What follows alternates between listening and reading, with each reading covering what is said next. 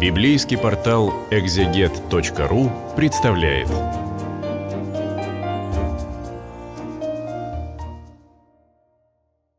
Здравствуйте, это видео для библейского портала экзегет.ру. Мы обратимся сейчас к 36 главе книги «Бытия». 36 глава содержит с повторами и вариациями родословие Исава, брата Исаака, сына Исаака, брата Иакова. Здесь это родословие, по-видимому, в нескольких тоже вариантах э, изначально э, использовано и составлен некоторый такой скомпилированный э, отчет о потомках Исава. И здесь говорится о его сыновьях, дочерях, множество имен, сообщается о том, что вот стада, скот, имение, эм, говорится в начале главы о том, как Исав с э, Иаковом расходятся в разные стороны, потому что у обоих уже большое хозяйство, стада, скот, дети, вот они расходятся в стороны. И дальше бесконечные списки жен, детей и от какой жены какие дети э, рождены. И еще говорится о старейшинах сынов Исавовых, которые, по-видимому, то ли какие-то подгруппы клановые возглавляют, то ли сменяя друг друга руководят этими племенами. И количество потомков здесь такое, что э, это родословное явно достаточно надолго. Спрашивается, а зачем вообще составитель поместил сюда этот рассказ?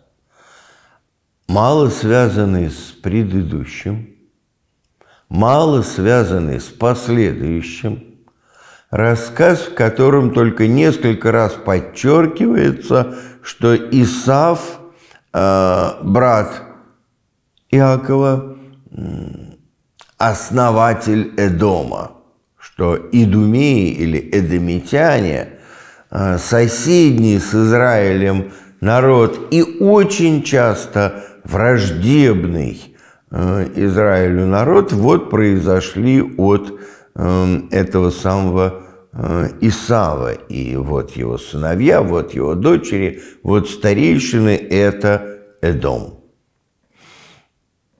Ну, это само по себе, конечно, важное. Но, во-первых, это уже было сообщено в рассказе, и в одном из рассказов об э, Исаве и Иакове. И конце концов, сообщить это можно было бы и без таких подробностей. И снова это ведь глава, в которой э, Господь Бог вообще не упоминается. Ну, у нас все-таки, как мы предполагаем, книга-то, э, имеющая отношение к вере Израиля, ее составляют как некоторые э, последовательные изложения, как народ пришел к завету и потом каким этот завет оказался. Вероятно, для самого составителя некоторое значение, кроме упоминания о том, что эдомитяне – это все вот потомки Исава, который продает первородство за похлебку, которые там такой-сякой. И всегда были э, враждебны, и всегда э, израильтянам с эдомитянами приходилось держать ухо востро. Кроме этого, вот в 31 стихе говорит, вот цари, царствовавшие в земле и дома, прежде царствования царей у сынов Израилевых. Оказывается, э, тот, кто это пишет, знает, что у сынов Израилевых будут цари. Ну, в общем, ничего удивительного, в конце концов, те, кто начали составлять эти рассказы в единую книгу, еще помнили эпоху царей. И, кроме того, говорится о том, что э, в Едоме цари царствовали раньше. Царская власть началась в Едоме раньше, чем в Израиле. И здесь не очень понятно. А рассказ такой, как будто это вообще чуть ли не при самом Эса и при самом Исаве началось. Но это, конечно же, не так. Но для следующей главы упоминание вот это о царской власти, которое у Едома есть, а у Израиля нету, окажется более или менее важным.